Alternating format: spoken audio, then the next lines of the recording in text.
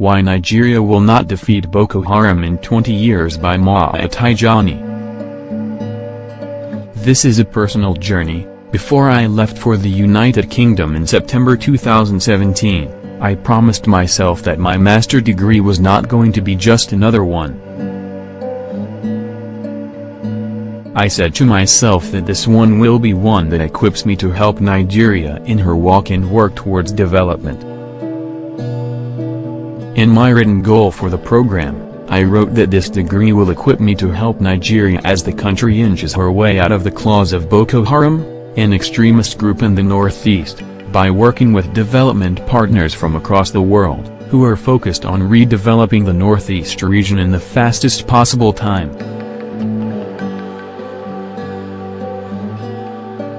As a brief background, I have worked on a few journalistic projects dealing with insurgency in the Northeast, with the last being about the attack on civilian refugee camps in Rann, the northmost town in Nigeria, where over 126 people were killed.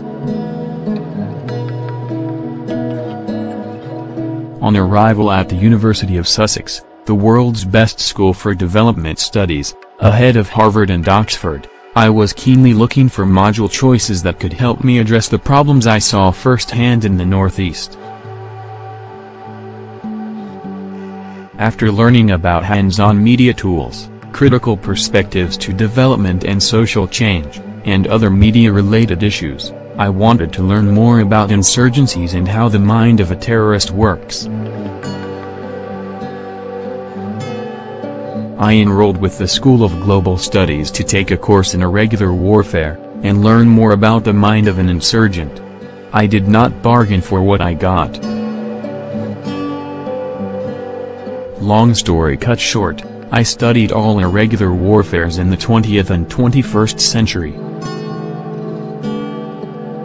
From my experience as a journalist, who has reported the war in the Northeast, and my study of irregular warfares across the world, I wrote what I consider a fascinating paper on how Nigeria can defeat Boko Haram. The paper will be made available when published. The rest of this column this week will share a few insights from the paper, and why I think we cannot defeat Boko Haram in the next 20 years if we continue on this path. What is Nigeria's counterinsurgency strategy? Have you ever asked yourself what Nigeria's counterinsurgency, coin, strategy is? In my interactions with soldiers, government officials, victims, and aid workers involved in the Boko Haram war, there is a simple retort, that information should be classified. Bloody civilians are not privy to such information. No insurgency in the history of the 20th and 21st century has ever been won this way. Broad coin strategies are known, and are prosecuted with the support of the citizens. The fine details are what the military keeps as classified. To win any irregular warfare, you need the population on your side. The population in this sense are those people, whom the government has a responsibility to protect and whom Boko Haram uses as a weapon against the state. They are the victims of the war. From my understanding of the war, Nigeria's broad coin is to outkill Boko Haram. This is simplistic use of brute force. Military spendings from 2011 to 2015 shows that Nigeria spent $16.382 billion on defense, but made little progress against Boko Haram. In fact, when military spendings were plotted against number of Boko Haram inflicted death, I found that the more we spent, the more deaths we recorded. The more we spent, the more Boko Haram progressed.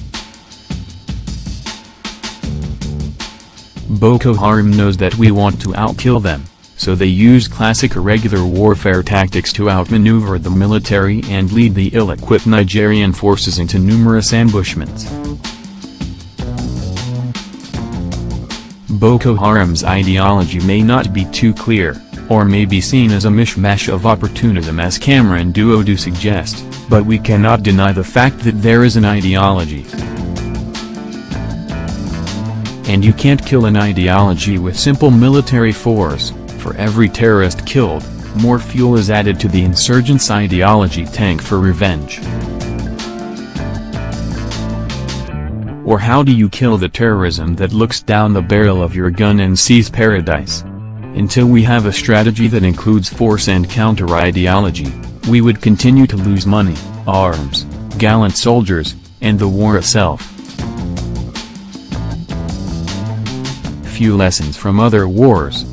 Of all the irregular warfares in the two centuries under review, the closest to the Boko Haram War, in my opinion, is the Malayan War of 1948 to 1960. This same war has been adjudged by many scholars and military experts as the classic counterinsurgency success for the British government, and a template, by which many other counterinsurgencies are executed or, and judged. This war lasted 12 years.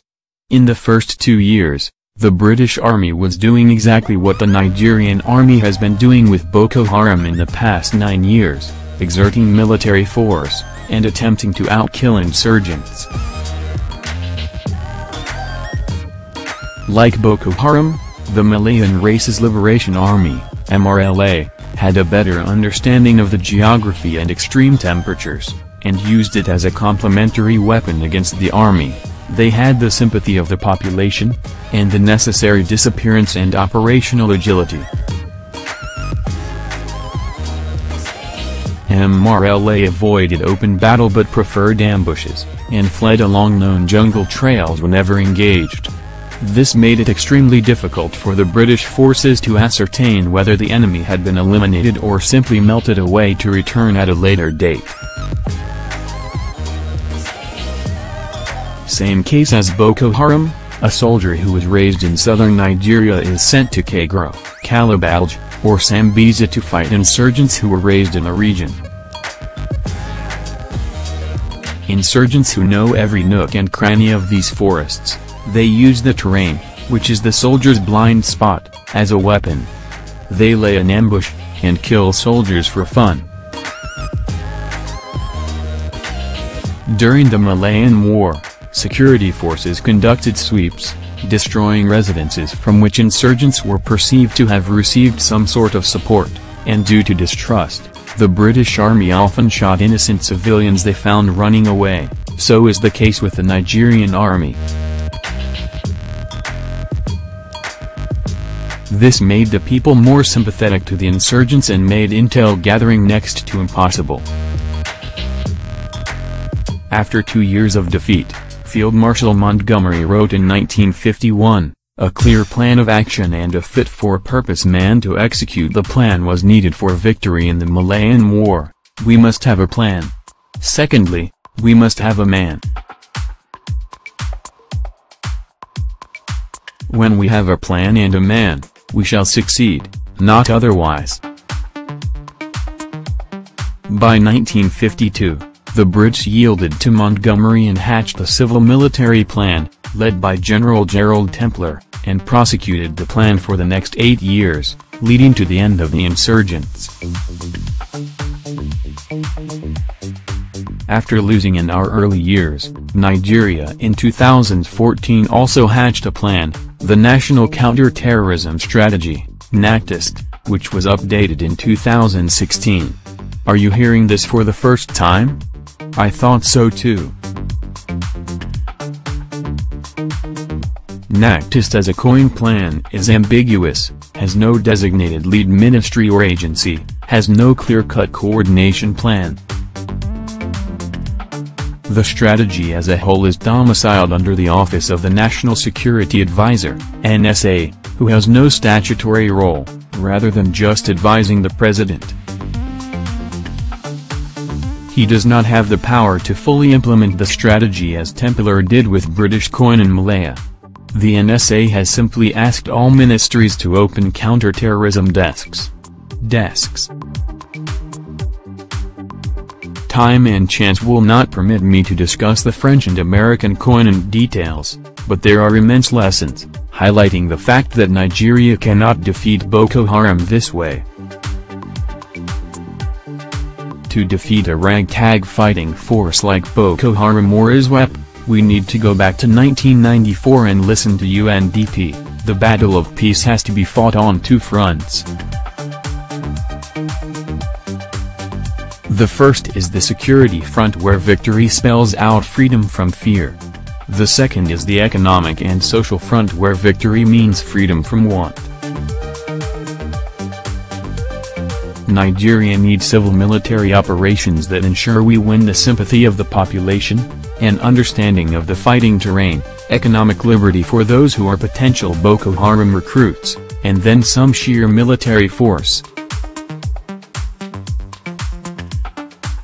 This cannot be achieved in a hurry, the earlier, the better. For more explanation of the British, French and American counterinsurgency plans as it relates to Nigeria, Reach Maa on Twitter at AluwanMaTJ.